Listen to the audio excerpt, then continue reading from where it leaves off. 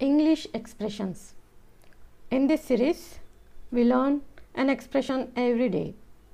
Today, we learn an expression hard work never kill anyone. So, this is the most useful expression. The meaning of this expression is don't be lazy. Example, if a person A asks, Would you help me in the garden? Then the person B says, I'm too tired, I'm sorry. So then person A can say, Come on, let's go. Hard work never kill anyone. So the meaning is don't be lazy. You have to work hard.